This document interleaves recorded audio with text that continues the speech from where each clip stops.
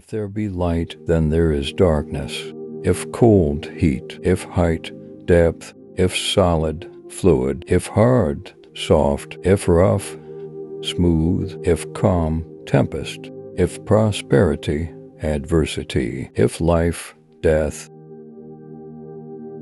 No one is free who has not obtained the empire of himself. No man is free who cannot command himself.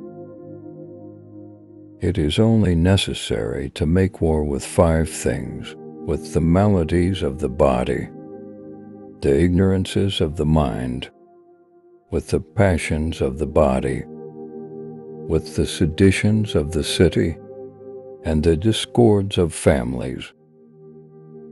A man is never as big as when he is on his knees to help a child. The wise man should be prepared for everything that does not lie within his control.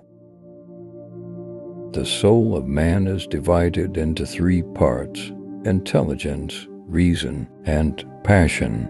Intelligence and passion are possessed by other animals, but reason by man alone. Hate and fear breed a poison in the blood, which if continued affects eyes, ears, nose, and the organs of digestion.